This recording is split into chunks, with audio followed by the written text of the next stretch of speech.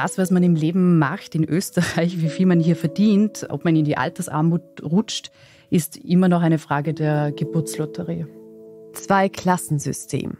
So nennen Kritiker das österreichische Schulwesen. In kaum einem anderen EU-Land wird so früh darüber entschieden, welche Kinder höhere Bildungschancen bekommen und welche abgehängt werden. Aber selbst jene, die den erfolgversprechenden Weg einschlagen, haben Zweifel am bestehenden System.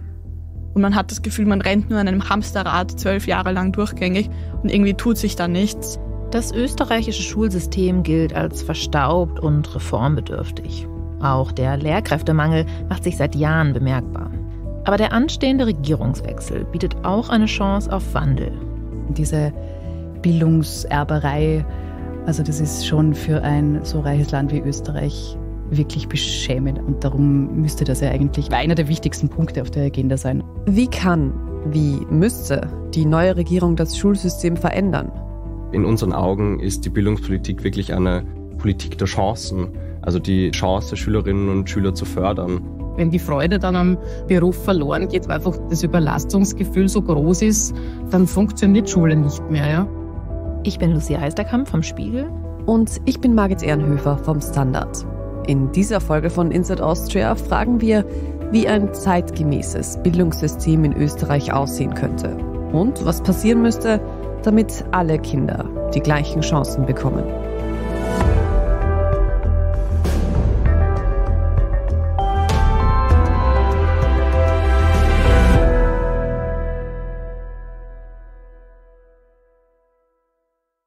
Bevor wir darüber sprechen, was an den Schulen gut oder schlecht läuft, ganz kurz, wie ist das Schulsystem in Österreich eigentlich aufgebaut? Nun ja, wenn man ein bisschen zurückblickt, dann gehen ja quasi die Anfänge des staatlichen Schulwesens eben auf Maria Theresia zurück, was wir alle in der Schule gelernt haben, auf die Schulreform, die Schulpflicht 1774. Das ist Elisa Tomaselli. Sie verfolgt für den Standard schon lange die Debatten in der Bildungspolitik. Grundsätzlich haben wir hier, ähnlich wie in Deutschland, ein differenziertes Schulsystem. Es gibt nicht eine gemeinsame Gesamtschule, sondern unterschiedliche Schulformen. Und neun Jahre Schulpflicht. Und die Grundsäulen sind heute eben eine vierjährige Volksschule. Danach folgt die Trennung eben in Mittelschule und AHS-Unterstufe. Die Volksschule, das ist sowas wie die Grundschule in Deutschland. Danach wird geteilt. Die AHS-Unterstufe, das steht kurz für allgemein höher bildende Schule, also das Gymnasium, führt weiter zur Matura. Sowas wie in Deutschland das Abi. Und der andere Weg wäre eben die Mittelschule und dann polytechnische und danach mit einer Lehre. Die Mittelschule ist vielleicht am ehesten mit der Hauptschule in Deutschland vergleichbar. Die gab es nämlich auch in Österreich bis vor etwas mehr als zehn Jahren. Sie wurde dann aber von der Mittelschule ersetzt. Die Polytechnische Schule dauert nur ein Jahr. Danach machen die meisten eine Lehre. Es entscheidet sich auf jeden Fall schon nach vier Jahren, ob Schülerinnen und Schüler später mal die Matura machen, was ja dann die Voraussetzung dafür ist, an einer Uni studieren zu können. Viel Wahlfreiheit gibt es da nicht, denn wer aufs Gymnasium will, braucht besonders gute Noten. In Deutschland ist es genauso. Die ersten vier Schuljahre sind ausschlaggebend dafür, welche Chancen im Berufsleben ein Kind später mal hat. Wie steht es jetzt um die Qualität des Schulsystems in Österreich?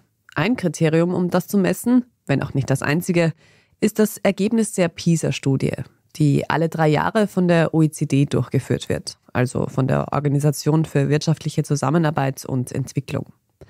Österreich lag beim letzten Test 2022 leicht über dem OECD-Durchschnitt. Deutschland lag etwas darunter. Sehr viel besser schneiden Länder wie Estland, Irland oder Finnland ab. Woran liegt es? Am Geld ganz offensichtlich nicht. Österreich gibt verhältnismäßig mehr für Bildung aus als zum Beispiel Estland oder Finnland. Was Studien allerdings Jahr für Jahr feststellen, in Österreich wird genau wie in Deutschland Bildung besonders stark vererbt. Also es gibt kaum ein Land in der EU, in der der sozioökonomische Hintergrund der Eltern so stark darüber entscheidet, eben wie der Bildungsweg eines Kindes danach aussieht. Der jährlich erscheinende nationale Bildungsbericht hat gezeigt, sogar wenn zwei Kinder aus einer Akademikerfamilie und einer Arbeiterfamilie dieselben Noten haben, ist es wahrscheinlich, dass das Akademikerkind auf dem Gymnasium und das Arbeiterkind in der Mittelschule landet. Das, was man im Leben macht in Österreich, wie viel man hier verdient, ob man in die Altersarmut rutscht, ist immer noch eine Frage der Geburtslotterie. Unsere Kollegin Elisa Tomaselli sieht auch eine klare Ursache dafür, dass diese Lotterie in Österreich und Deutschland besonders stark ausgeprägt ist. Wie bereits erwähnt, ist es ja so, dass Österreich auf ein sehr differenziertes Schulsystem setzt und eben Kinder mit neun Jahren trennt. Und es neben Österreich und Deutschland kein einziges OECD-Land gibt, das eben Kinder in so einem frühen Alter trennt und in unterschiedliche Schulen schickt. Zahlreiche Expertinnen und Experten weisen darauf hin, dass die frühe Trennung die sozioökonomischen Ungleichheiten zwischen Kindern weiter zementieren. Als zweite Ursache für die fehlende Chancengleichheit sieht unsere Kollegin Elisa Tomaselli, dass es in Österreich verhältnismäßig wenige Ganztagsschulen gibt. Und das bedeutet halt wiederum, dass Bildung ins Private verlagert wird oder halt ausgelagert wird eigentlich. Und über den Lernerfolg entscheidet also dann in Folge, ob Eltern Zeit, Ressourcen, Bücherregale, Bildung, Geld haben, also um den Nachwuchs halt auch zu fördern und zu unterstützen. Insgesamt besucht nur jedes dritte Kind in Österreich eine Ganztagsschule. Und dann gibt es noch etwas, das massiven Einfluss auf die Unterrichtsqualität hat. Vielen Kindern fehlt es an grundlegenden Sprach- und Lesekompetenzen. Das gilt vor allem für Großstädte wie Wien, in denen es in den vergangenen Jahren einen starken Zuzug durch Migration gegeben hat da eben das Schulsystem stark auf Differenzierung ausgelegt ist, gibt es eben in Bezirke mit hohem Migrantinnenanteil Volks-, aber halt hauptsächlich auch Mittelschulen, wo fast nur noch Kinder aus finanziell sozial benachteiligten Familien unterrichtet werden, eben mit schlechten Deutschkenntnissen oder keinen Deutschkenntnissen. Jedes zweite Kind in Wien spricht mittlerweile zu Hause eine andere Erstsprache als Deutsch. Das muss nicht unbedingt ein Nachteil sein. Mehrsprachigkeit ist ja grundsätzlich was Positives. Es zeigt aber, welche besondere Bedeutung die frühe Sprachförderung hat. Von der anderen Perspektive betrachtet ist das natürlich eine Mammutaufgabe, also nicht nur für die Lehrkräfte, auch für die Direktoren und Direktorinnen. Vor allem, weil sich in ihrer Lehrerinnenausbildung diese wandelnde gesellschaftliche Realität mit Blick eben auf Diversität und Umgang mit Mehrsprachigkeit nicht wirklich niedergeschlagen hat. Also das kommt erst jetzt langsam. Zwar wurden in Österreich schon vor Jahren noch unter der türkis-blauen Regierung von Sebastian Kurz sogenannte Deutschförderklassen eingeführt. Das heißt, Kinder mit fehlenden Deutschkenntnissen werden den Großteil der Unterrichtszeit in spezielle Klassen gesteckt, in denen Deutsch gelernt werden soll. Jetzt allerdings Jahre später zeigen doch schon zahlreiche Studien und Erhebungen, dass sie ihrem Namen einfach nicht gerecht werden, weil sie führen in erster Linie demnach eben zu Isolation, zu wenig Sprachkontakt, was wiederum das Erlernen der deutschen Sprache logischerweise erschwert. Die Studien zeigen auch, dass durch die vielen Stunden, die die Kinder in den Deutschförderklassen verbringen, andere Lerninhalte, zum Beispiel Mathematik, oft zu kurz kommen. Die Empfehlungen von Expertinnen und Experten gehen mittlerweile eher in die Richtung, schon vor der Schulzeit mit spezieller Deutschförderung anzusetzen, also im Kindergartenalter. Ein wichtiger Punkt ist dabei sicher auch, dass in Österreich jetzt nur ein Kindergartenjahr verpflichtend ist. Also das könnte man dann natürlich auch noch mitnehmen, dass es einfach vielleicht zwei verpflichtende Kindergartenjahre gibt, wo halt wirklich gezielt geschaut wird, dass Sprachförderung stattfindet im Rahmen des Kindergartensettings. Die Liste an Herausforderungen für das Bildungssystem in Österreich ist also lang. Ein Bericht des Think Tank Agenda Austria gibt den österreichischen Schulen gerade mal die Note befriedigend. In dem Bericht heißt es, die nächste Regierung müsse das Rad nicht neu erfinden, aber sie solle endlich in die Pedale treten. Dass es Reformbedarf gibt, darin sind sich die Expertinnen und Experten einig. Wir wollten in dieser Podcast-Folge aber nicht nur über Schule sprechen, sondern auch vor allem mit denjenigen, die das Thema selbst betrifft. Ja, mein Name ist Mira Langhammer, ich bin 17 Jahre alt, selbst Schülerin an einer AHS in Krems. Mira Langhammer macht dieses Jahr die Matura und ist Bundesschulsprecherin in der Schülerunion. Also die Schülerunion ist die größte Organisation für Schülerinnen und Schüler in ganz Österreich. Und das ist Vincent Reisner. Er ist 20 Jahre alt und hat die Schule schon abgeschlossen, ist aber weiterhin Bundesvorsitzender in der Schülerunion. Das ist eine Art Lobbyorganisation, die sich für die Interessen von Schülerinnen und Schülern gegenüber der Politik einsetzt. Wir haben Vincent und Mira in das Studio des Standard in Wien eingeladen, um mit ihnen darüber zu sprechen, wie sich Schule aus ihrer Sicht verändern müsste. Ich glaube, was sich durch alle Schulen so durchzieht oder generell in Österreich eben so Thema ist, ist natürlich, dass der Unterricht sehr von den Lehrpersonen abhängt. Also es kommt sehr darauf an, ob jetzt meine Lehrperson engagiert ist oder eben nicht. Diese Abhängigkeit von der Motivation der Lehrkräfte, sagt Mira, sei in Österreich zu groß. Ich glaube, jede Person, wenn sie an die Schulzeit zurückdenkt und man jetzt fragen würde, hattest du einen guten Lehrer oder eine gute Lehrerin, dann hat auf jeden Fall jeder eine Person vor Auge. Aber eben auch bei den schlechten, unter Anführungszeichen, Lehrerinnen und Lehrern, die einem vielleicht sogar dann die Motivation am Lernen nehmen. Und das ist einfach unglaublich schade. Um das zu ändern, sagt Mira, könnte man sich zum Beispiel stärker an Finnland orientieren. Ein Land, das bei den PISA-Tests regelmäßig Top-Ergebnisse erzielt. Was bei denen schon besonders gut ist, ist die Lehrerinnenausbildung. Also das Studium für Pflichtschullehrerinnen, da werden um die 10 Prozent nur genommen. Also vergleichbar bei uns mit eigentlich einer Medizinaufnahme, wo es bei uns natürlich sehr schwierig ist, da in das Studium reinzukommen. Sprich, es werden die Besten genommen. Das genauso in Österreich umzusetzen, wäre wohl vor allem deshalb schwierig, weil es hier schon jetzt einen starken Mangel an Pädagoginnen und Pädagogen gibt. Zu dem Punkt kommen wir noch. Aber grundsätzlich wäre es natürlich ein Ansatz, die Lehrerinnenausbildung zu verbessern. Und noch etwas, meint Mira, könnte sich Österreich aus Skandinavien abschauen. In Finnland zum Beispiel ist es so, dass es eine sehr starke Schulautonomie gibt oder im Lokal sehr viel beschlossen wird. Es gibt lokale Lehrpläne quasi. Es wird vom Ministerium aus nur ein Rahmenplan vorgegeben und jede Kommune entscheidet dann selbst noch einmal über einen lokalen Lehrplan, wo dann auch quasi an die Voraussetzungen der Umgebung quasi angepasst werden kann, was ich auch einen wunderbaren Ansatz finde. Vincent Reisner, bei dem die Schulzeit ja schon ein paar Jahre zurückliegt, sieht vor allem das Problem, dass viele Schülerinnen und Schüler im Verlauf der Jahre die Motivation verlieren.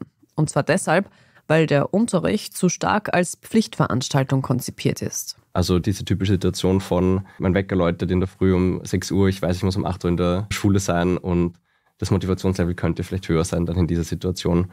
Und ich glaube, das liegt auch daran, dass viele Schülerinnen und Schüler die Schule als ein relativ starres System wahrnehmen und dass sie nicht wirklich das Gefühl haben, dass sie mit, mit all ihren Facetten und mit ihren Stärken und Interessen dort wirklich so gut ankommen und sich so gut verwirklichen können. Ein starres System, das zu wenig auf die individuellen Interessen der einzelnen Schülerinnen und Schüler eingeht.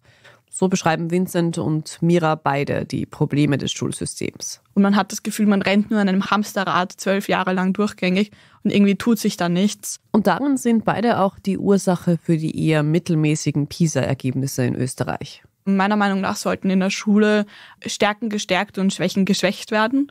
Also dort, wo ich Schwierigkeiten habe, dort sollte ich Unterstützung bekommen, aber gleichzeitig auch dort, wo ich eben Stärken habe und dort, wo meine Interessen liegen. Oft würde sich Schule aber zu sehr auf das konzentrieren, was SchülerInnen eben nicht können, sagt Mira. Für die Schülerunion ist auch das Thema Chancengerechtigkeit sehr wichtig. Also wir sind der Meinung, dass eben jede Schülerin und jeder Schüler auch mit ganz anderen Bedürfnissen und mit einem ganz anderen Background ein Teil des Bildungssystems ist. Und all diese Facetten und all diese Hintergründe sind natürlich richtig und da gibt es kein richtig und kein falsch.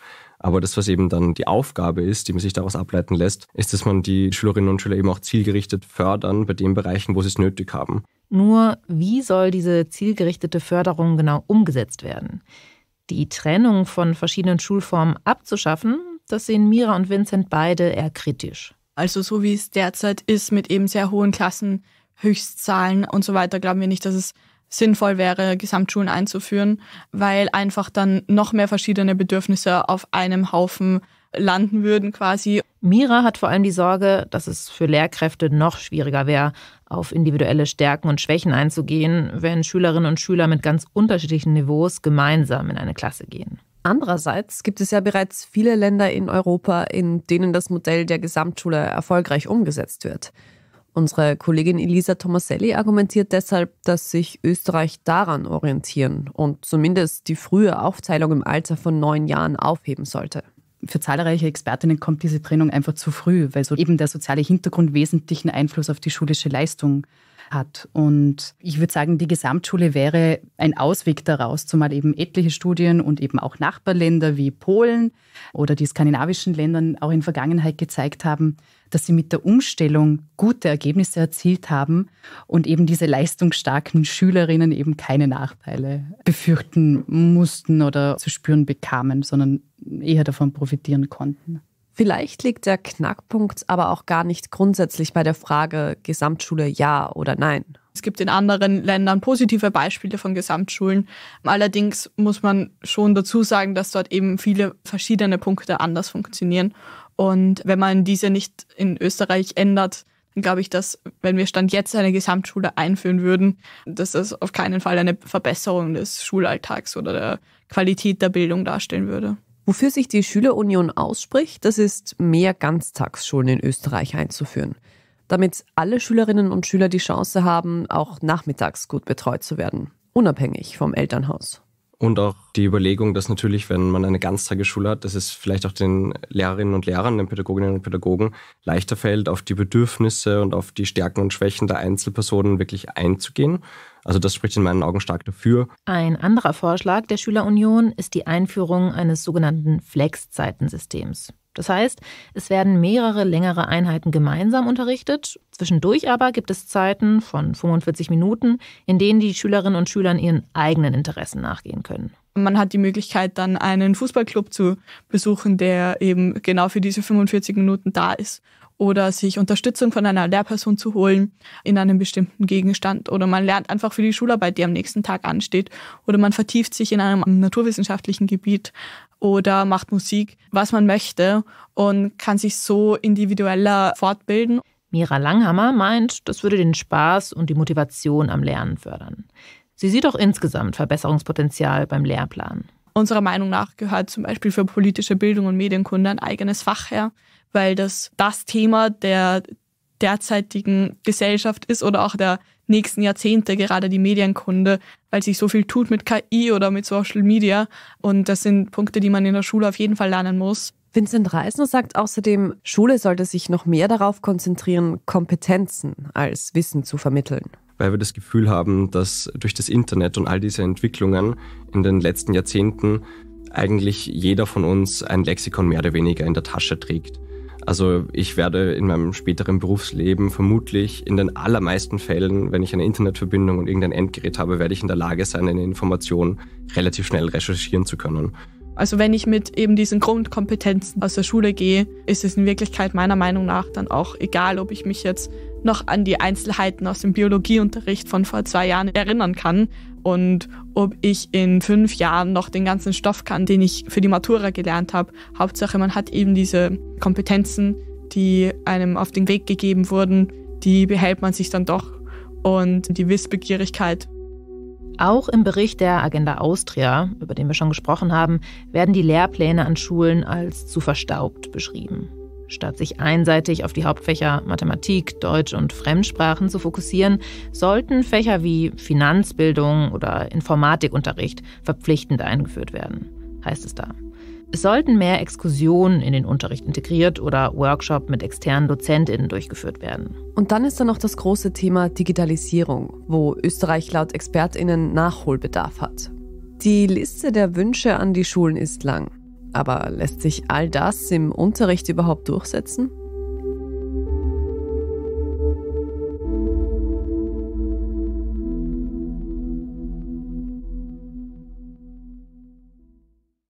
Mein Name ist Isabella Zins. Ich bin Direktorin an einem Oberstufen-Realgymnasium in Niederösterreich am Burg Mistelbach. Wir wollten für diese Folge natürlich auch die Perspektive der Lehrkräfte hören. Also hat sich Margit mal an ihrer alten Schule umgehört. Isabella Zins ist nicht nur meine ehemalige Schulleiterin, sondern auch Sprecherin der AHS-Direktoren in Österreich. Also gut vernetzt mit allen Kolleginnen und Kollegen und weiß daher auch so quasi, wo der Schuh drückt. Zins beobachtet vor allem, dass sich die Anforderungen an Schulen stark verändern. Wir sind für Bildung zuständig. Wir sind natürlich auch ein Spiegel der Gesellschaft. Das heißt, alles, was da so hineinspielt mit Handyverwendung, einfach die Veränderungen der Gesellschaft, dass eben Kinder weniger lesen, sondern viel mit Digitalität Qualität sich beschäftigen, wo wir halt natürlich teilweise mittun, aber andererseits die Basics wie Lesen, Leseverständnis, Textverständnis, das sind ja essentielle Dinge, die nach wie vor wichtig sind. Einerseits muss Schule dafür sorgen, dass Kinder nach wie vor die Basics lernen. Andererseits kommen immer neue Inhalte dazu, die Lehrerinnen und Lehrer vermitteln sollen. aktuelles Beispiel. Wir sind gerade dabei, ein Kinderschutzkonzept zu erarbeiten und das soll partizipativ geschehen und das ist alles neben dem Unterricht. Also der Unterricht selber ist schon sehr fordernd für Lehrkräfte, aber alles, was noch so dazukommt, auch jetzt die neue Auseinandersetzung mit dem Thema KI, also ganz viele Themen, die in die Schule hineinspielen. Ja? Und auch die vielen Probleme, die ja auch bekannt sind, dass, glaube ich, ein Drittel der Jugendlichen auch mit mentalen Problemen zu kämpfen hat. Das ist natürlich ein Thema, dem müssen wir uns widmen. Das tun wir auch. Das heißt, auch neben dem Unterrichten viel Arbeit, Kontakte mit der Schulpsychologin, Unterstützungsangebote für die Lehrkräfte, viele Gespräche und so weiter. Es steigen also die Belastungen für Lehrkräfte, vor allem aber auch für das Management von Schulen weil wir eigentlich kein mittleres Management haben. Das heißt, eine Schulleitung ist verantwortlich für im HS-Bereich 50 bis 100 oder 150 Kolleginnen und Kollegen ohne Zwischenstrukturen. Es sind so viele Aufgaben, die die Schule mittlerweile übernommen hat, die da zu koordinieren sind, dass wirklich das fast nicht mehr machbar ist, das alles im Blick zu haben und alles so gut zu machen, wie man es gerne machen würde. Das führt dazu, dass Lehrkräfte immer mehr Organisations- und Managementaufgaben übernehmen müssen. Das heißt, Kolleginnen aus dem Kollegium, die man ein bisschen vom Unterricht entlastet, die dann wirklich auch einzelne Aufgaben übernehmen. Ich habe mir so ein System schon irgendwo gebastelt, aber es ist einfach schwierig ohne Ressourcen. Und vor allem leidet der Schulunterricht an solchen Verlagerungen. Ich merke es daran, dass manche wirklich auch reduzieren, keine volle Lehrverpflichtung schaffen oder eher lieber keine wollen, weil sie es so gut machen wollen und Angst haben dann, dass es zu viel wird. Und schon jetzt, sagt Isabella Zins, wirkt sich die Überlastung an einigen Schulen negativ auf den Unterricht aus. Wenn die Freude dann am Beruf verloren geht, weil einfach das Überlastungsgefühl so groß ist, dann funktioniert Schule nicht mehr. Ja? Und das ist halt wirklich auch etwas, woran wir Direktoren dann ordentlich zu kämpfen haben. Ja? Dass wir schauen, dass alles so quasi gut funktioniert, dass eine gute Stimmung an Bord ist quasi, damit Schule funktioniert. Weil wir brauchen die Beziehungen zu den Schülern. Es muss ein gutes Verhältnis sein, sonst kann man ja gar nicht lernen. Die Lücken im Management von Schulen, die sind das eine. Ein großes Problem ist aber auch der allgemeine Lehrkräftemangel. Gerade im Pflichtschulbereich ist eben der Lehrerinnenmangel besonders eklatant. Dafür gibt es unterschiedliche Gründe. Einerseits ist es natürlich die Pensionierungswelle, die halt alle Branchen betrifft, also die Pensionierungswelle der Babyboomer. Bis 2030 sollen rund 40.000 Pädagoginnen und Pädagogen in Pension gehen. Das ist etwa ein Drittel der Lehrkräfte. Einen weiteren Grund für den Mangel an Bildungspersonal sieht unsere Kollegin Elisa Tomaselli in der hohen Abbrecherquote im Lehramtsstudium und darin, dass immer mehr Lehrkräfte in Teilzeit gehen, eben weil die Belastung der Lehrpersonen zunimmt. Wir haben dazu kurz mit Lorenzo Ramani gesprochen. Er war zwei Jahre lang für das Programm Teach for Austria im Einsatz. Das ist ein gemeinnütziges Programm, das Hochschulabsolventinnen befristet in Mittelschulen oder Kindergärten einsetzt. Lorenzo hat uns eine Sprachnachricht von seinen Erfahrungen als Lehrer geschickt. Ich verüble es absolut niemandem, der das Weite vom Bildungssystem sucht. Extrem schlechter Ruf, mittelmäßige Bezahlung und vor allem die soziale, emotionale Belastbarkeit, die einem die letzte Energie raubt. Man sieht jeden Tag so viele traurige Schicksale, die man systemisch wirklich korrigieren könnte. Aber das ist eine Arbeit, die von einer gewissen Ideologie und Liebe geprägt und geleitet wird. Man macht das aus Überzeugung. Man macht es, weil man an Veränderung und Potenziale glaubt, nicht weil man das große Geld oder die mordsmäßige Anerkennung möchte. Viele Einzelschicksale, denen zu helfen, die Kapazitäten einzelner Lehrpersonen maßlos übersteigen würde, das berichten viele Pädagoginnen und Aussteiger. Weil immer mehr Lehrkräfte fehlen, wird versucht, anderswo Personal aufzutreiben. Das führt jetzt mittlerweile dazu, dass sogar schon Studierende im zweiten Semester unterrichten und an die Schulen geschickt werden und auch ganz stark um pensionierte Lehrkräfte geworben wird, dass sie doch wieder an die Schulen zurückkommen aus ihrem Ruhestand. Außerdem gibt es spezielle Programme, um Quereinsteiger für den Lehrberuf zu begeistern. Also der Bildungsminister Martin Polaschek hat eben nicht gerade bescheiden die Klasse Job Kampagne quasi als größte Lehrkräfteoffensive der Zweiten Republik propagiert. Wir wollen junge Personen ansprechen. Wir wollen aber auch, und das ist ja noch ganz neu, speziell Quereinsteigerinnen und Quereinsteiger ansprechen. Gerade Personen aus anderen Professionen, die manchmal auch zusätzlich zu einem anderen Job die Schulen und Klassenzimmer noch bunter machen werden. Mit dieser Kampagne sollten Fachkräfte aus anderen Branchen angeworben werden, die dann eine pädagogische Ausbildung nachholen, während sie schon unterrichten. Bis ins Frühjahr konnten damit immerhin 900 Lehrkräfte rekrutiert werden. Die rund 40.000 Pädagoginnen, die in den nächsten sechs Jahren in Pension gehen, kann man damit aber bei weitem nicht abfedern. Und dazu kommt auch noch, dass das Lehramtsstudium auf fünf Jahre wieder verkürzt wurde. Ob das allerdings helfen wird, jetzt den Lehrerinnenmangel abzufedern, ist fraglich. Also da müsste auf jeden Fall noch an den Arbeitsbedingungen geschraubt werden. Also vor allem weniger Belastung. Auch die Direktorin Isabella Zins setzt sich vor allem dafür ein, dass es mehr Personal an den Schulen gibt. Es soll in Österreich auch ein neuer Beruf entstehen, also eine pädagogische Ausbildung nach der Matura, die aber kein Studium ist, wo man dann so quasi als Begleitlehrkraft, als Freizeitpädagogin eingesetzt werden kann, als Unterstützung, weil die Lehrkräfte zum Beispiel auch vieles zu organisieren haben, wo man sich denkt, ein Skikurs organisieren oder mit Reisebüros telefonieren und so weiter, das ist halt nicht unbedingt eine Tätigkeit, die ein Lehrer machen müsste. Also man könnte schon manches auslagern, damit man gerade in Zeiten eines Lehrermangels die Lehrer mehr im Unterricht hat und nicht so sehr mit Verwaltungsaufgaben auch belastet.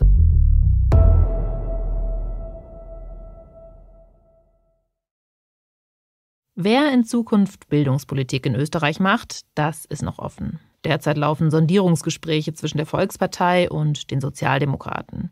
Viele Beobachter vermuten, dass sie danach noch eine dritte Partei ins Boot holen. Was klar ist, Wünsche an die Politik haben sowohl Schüler als auch Pädagogen genug. Also unsere hauptsächlichen Wünsche sind wirklich in der Struktur der Schulen ein mittleres Management einzuführen, dass man da eben das nicht alles auf gut will und man bürdet jemandem noch was auf, sondern dass das wirklich wertgeschätzt ist, wenn jemand auch so kleine Führungsaufgaben übernimmt. Also das wäre mal total wichtig. Generell das Supportpersonal zu erhöhen, gibt es Ansätze dazu, die sind sicher trotzdem noch ausbaufähig. Für die AHS-Direktorin Isabella Zins steht auch der Umgang mit der Digitalisierung ganz oben auf der Agenda. Wirklich unter Einbeziehung der Experten aus den verschiedensten Bereichen, ja, Psychologen, Soziologen, die Studien, die es schon gibt, wirklich zu schauen, wo ist es wirklich gut und sinnvoll einsetzbar und wo müssen wir wirklich schauen, dass das Analoge nicht verloren geht. Also das sind, glaube ich, die großen Zukunftsthemen, Umgang mit künstlicher Intelligenz. Also kein Verteufeln davon, nützen, aber gleichzeitig schauen, dass nicht wichtige andere Dinge verloren gehen. Und was Zins insgesamt betont, Reformen sollten gemeinsam mit allen Beteiligten erarbeitet werden. Wirklich die Perspektive der Schüler, der Lehrkräfte, der Direktoren zusammenzulegen, um das System weiterzuentwickeln. Weil alles, was von außen nur aufgepfropft wird, das kann nicht ins System reinwandern. Bei der Schülerunion wünscht man sich, dass SchülerInnen über Wissensvermittlung hinaus auf das Leben vorbereitet werden. Vincent Reisner meint zum Beispiel, dass man die Schule viel stärker als Ort nutzen könnte, um gesellschaftliche Probleme vorzubeugen. Also in unseren Augen ist die Bildungspolitik wirklich eine Politik der Chancen. Also die, die Chance, Schülerinnen und Schüler zu fördern und auch die Chance, Schülerinnen und Schüler, wenn sie dann sozusagen am Ende ihrer Schullaufbahn stehen, dass man sie auch wirklich zu dem Punkt gebracht hat, dass sie selbstbewusste Mitglieder der Gesellschaft sind, dass sie gebildete Mitglieder der Gesellschaft sind, dass sie etwas mit Werten wie Demokratie anfangen können und so weiter. Immerhin ist die Schule der einzige Ort, wo alle jungen Mitglieder der Gesellschaft einmal im Leben zusammenkommen. Und da haben wir das Gefühl, dass Bildungspolitik im Vergleich zu anderen Bereichen der Politik, also sei das jetzt eine Sozialpolitik oder eine Außenpolitik, was auch immer, dass Bildungspolitik manchmal nicht den allergrößten Stellenwert genießt und vielleicht auch was die Aufmerksamkeit der Medien betrifft, nicht sexy ist im Vergleich zu, zu anderen Bereichen der Politik. Und wir haben den Eindruck, dass Bildungspolitik schon sehr sexy ist und dass Bildungspolitik eben auch als eine Politik der Chancen wahrgenommen werden könnte, was dann möglicherweise auch solche Ergebnisse verbessern würde. Könnte Bildungspolitik in der nächsten Regierung einen höheren Stellenwert bekommen?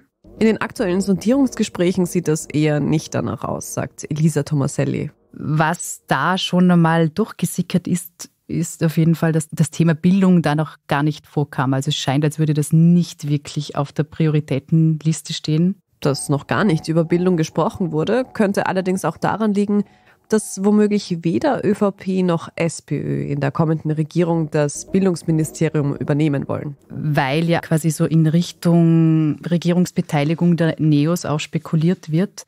Würde es eigentlich schon ziemlich auf der Hand liegen, wenn auch die Neos, deren politisches Steckenpferd einfach die Bildung ist und diese auch glaubhaft vertreten in der Bevölkerung, dass quasi sie den Bildungsminister oder die Bildungsministerin stellen würden. Die Neos, das sind die Liberalen in Österreich. Ihnen wird derzeit die größte Chance auf eine Dreierkoalition mit ÖVP und SPÖ zugesprochen. Die Parteichefin Beate Meine-Reisinger hat auch im vergangenen Wahlkampf voll auf das Thema Bildung gesetzt. Das ist die entscheidende Zukunftsinvestition. Es gibt nämlich nur eine Sache, die teurer ist, als in Bildung zu investieren, nämlich nicht in Bildung zu investieren. Die Neos fordern zum Beispiel mehr Chancengerechtigkeit durch einen Chancenindex. Das heißt, Schulen sollen mehr Geld bekommen, wenn sie größere Herausforderungen zu stemmen haben. Zum Beispiel mehr SchülerInnen mit Förderbedarf bei der deutschen Sprache. Die Liberale Partei will aber auch grundlegend am bestehenden Schulsystem rütteln. Also ein zentraler Reformpunkt der NEOS könnte man als quasi Gesamtschule Leit bezeichnen. Also die NEOS treten eben für eine verlängerte Volksschule ein. Also das heißt eben statt vier Jahren Volksschule, sechs Jahre Volksschule, ehe die Entscheidung dann fällt, wohin es weitergeht. Die Idee ist allerdings nicht neu. Sogar schon Jörg Haider, damaliger, einstiger FPÖ und dann BZÖ-Chef, hat das schon gefordert und auch viele ÖVP-Landeshauptleute. Aber es ist insofern ein geschickter politischer Schachzug, weil man es quasi so als Kompromiss verkaufen könnte. Also zur richtigen Gesamtschule, in der die Positionen ja von ÖVP und SPÖ bekannt und eben festgefahren sind. Die Sozialdemokraten sprechen sich schon seit Jahren für die komplette Abschaffung des getrennten Schulsystems aus. Die Volkspartei will im Gegenteil gar nicht an der Differenzierung rütteln. Eine spätere Trennung nach erst sechs Jahren könnte also ein Kompromiss sein.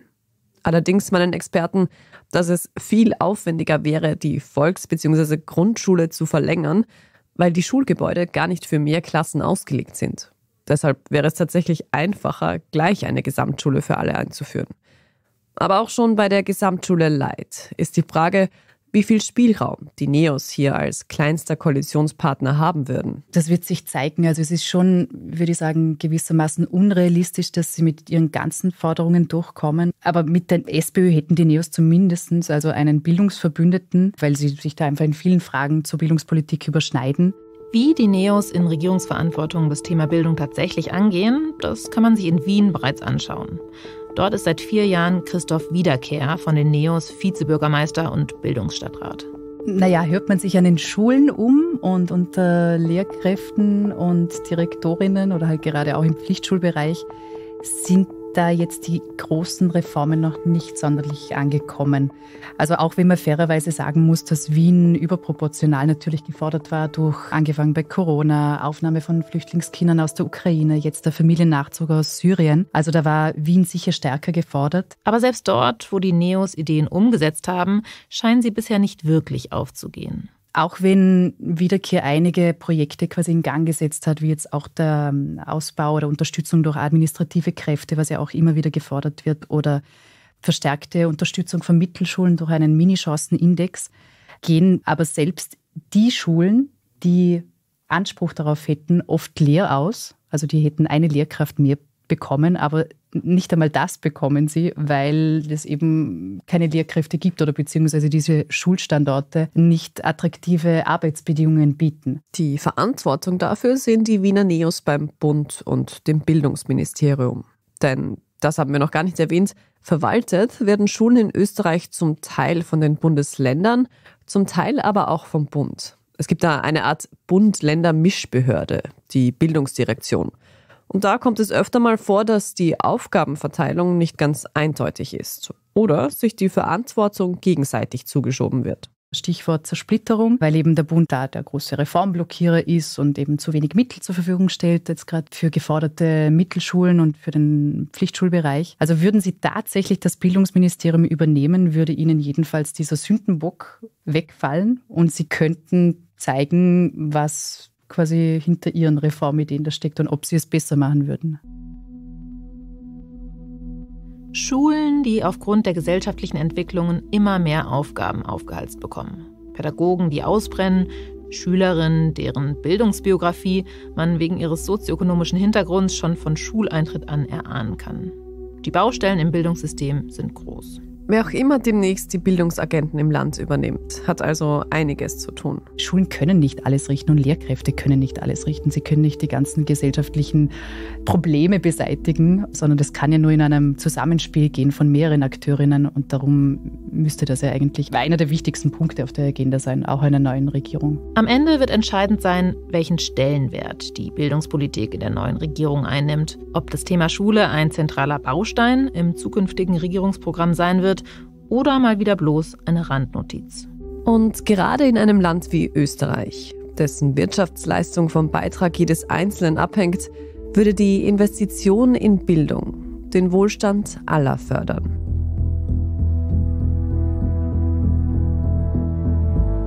Inside Austria hören Sie auf allen gängigen Podcast-Plattformen, auf der Standard.at und auf spiegel.de. Wenn Ihnen unser Podcast gefällt, dann folgen Sie uns doch und lassen Sie uns ein paar Sterne da. Kritik, Feedback oder Vorschläge zum Podcast wie immer gerne an insideaustria.spiegel.de oder an podcast.derstandard.at. Und nochmal der Hinweis, wenn Sie uns live auf der Bühne erleben wollen, dann können Sie das am 23. November tun auf der Buch Wien. Alle Infos dazu finden Sie auch in den Show Notes. Unsere journalistische Arbeit können Sie am besten mit einem Abonnement unterstützen. Alle Infos zu einem Standard-Abo finden Sie auf abo.derstandard.at. Und unsere Hörerinnen und Hörer können mit dem Rabattcode Standard zwölf Wochen lang das Angebot von Spiegel Plus für nur 2,49 Euro pro Woche testen. Alle Infos dazu finden Sie auf spiegel.de slash der Standard. Alle Links und Infos stehen wie immer auch in den Shownotes dieser Folge. Danke fürs Zuhören und allen, die an diesem Podcast mitwirken. Das waren diesmal vor allem Jasmin Yüksel, Scholt Wilhelm und Christoph Neuwirth. Ich bin Lucia Heisterkamp. Ich bin Margit Ehrenhöfer. Wir sagen Tschüss und Baba.